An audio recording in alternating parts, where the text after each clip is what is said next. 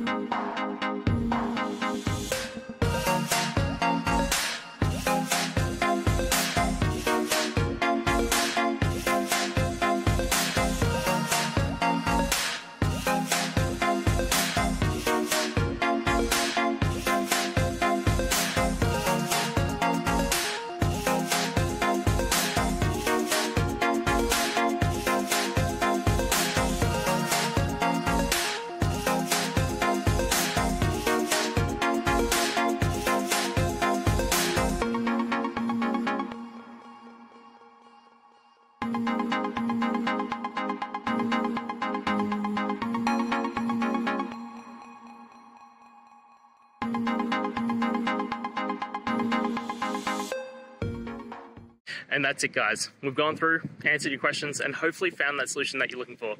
If we did, please hit subscribe. I'd really appreciate it. And until the next time you need technical help, I hope you have a good one.